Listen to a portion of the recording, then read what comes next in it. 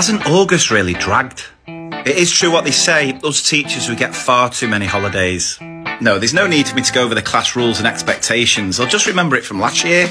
Moving classrooms has been such an easy and straightforward task. It's been the highlight of my summer. I just love spending all year to finally get to that point where my class listen and follow my instructions and then just have to start it all over again in September. I have no doubt they'll remember everything we covered last year. My students left this class in such pristine condition, I didn't even have to touch it over the summer. Yeah, I am a bit fed up of napping five times a day. Draw back the curtains on that Ofsted window.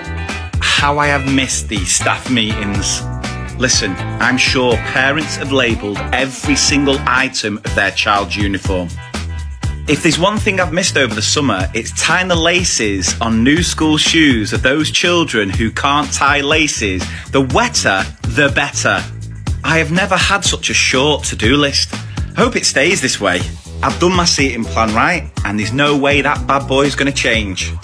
You know, where is the challenge in being able to go to the toilet whenever you want?